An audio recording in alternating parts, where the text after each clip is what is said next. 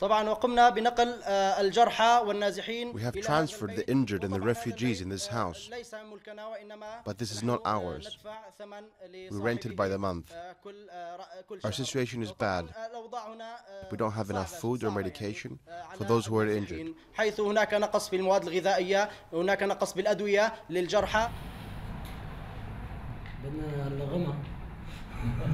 We were protesting while the UN observers were here, and the Shabiha opened fire on us.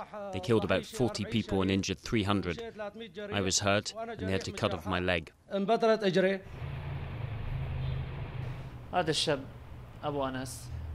Abu Anas' cousin often went to an Alawite village to buy bread. Abu Anas heard that his cousin had been shot, so he went there to help him. But a Shabiha came out from behind the trees and opened fire on him. He got out the car and started running, but he was still hit by a bullet.